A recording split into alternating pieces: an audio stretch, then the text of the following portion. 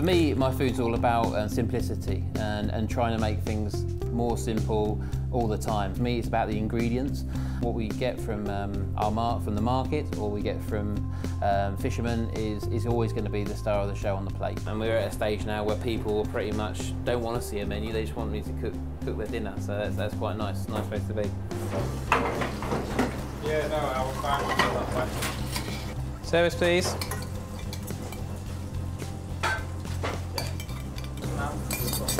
Beautiful. Cute. So away on uh, two squid, two scampi. Yeah. Well, what we try and do with a menu is we always try and start off with um, with a raw, uh, a cured dish. So we've got two like almost like tapasy style dishes. Then we follow with another two the same, which usually but they're usually hot. So we'll have something that's deep fried, maybe something that's a soup. The whole experience is a bit of a journey so towards the finale of, of, the, of the sort of bigger, sort of more bolder courses and bigger and bolder fish as well. How long on two sole? Two salt, two minutes, go twice. Perfect. For me, being located in Rock Cornwall, I've got a lot of um, fishermen around me, which has obviously really been the catalyst to what I do.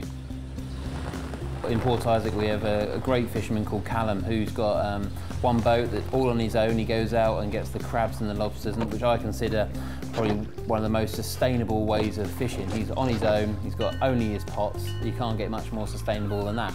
And he'll bring in a product that just every time he comes in the back door with it, just gives me inspiration to come up with something new and, uh, and different. So today we're sitting in um, Calum and Tracy's uh, place called uh, Fresh from the Sea, which is um, a fantastic um, seafood. I feel like to call it. It's a bit of a shack, really, isn't it, Calum? I like it. It's lovely. And you've got like all this fresh fish, and you've got these wonderful um, lobsters. And you know, for me, the crab sandwich is the ultimate.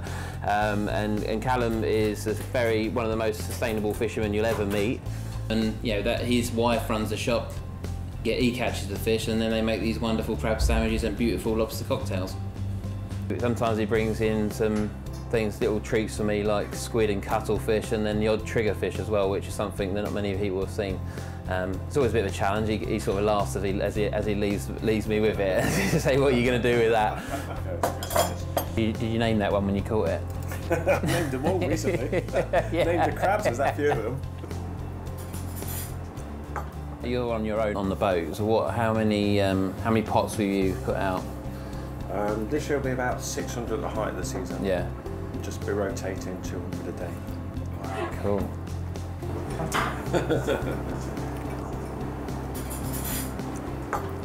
That is nice. From your point of view, Calum, like when you're you're catching and going out and you know basically are risking your life, you know, in regards especially with the bad weather, when you see everything being used up, I suppose that's sort of a good thing for you because Yeah. at least you know the effort that's gone in for it. Nothing worse than wasting it, is it? No, no. Not, like I say, we, we only do really simple things here. Yeah. We're, not chefs, we're just, we're just lucky that we're fortunate to have such Yeah. quality stuff. I think seafood in general is quite a convenience food. If you get it, it's, it all cooks very quickly. Something like a crab soup like that can be done quite quickly. It's not, you know, if anything, you want to do it quickly to retain all the flavour. Roasting or steaming a lobster or making a crab sandwich, it's not something that's going to take you ages and ages to produce, but it's still, yeah, it's one of the most beautiful things you can eat, I think.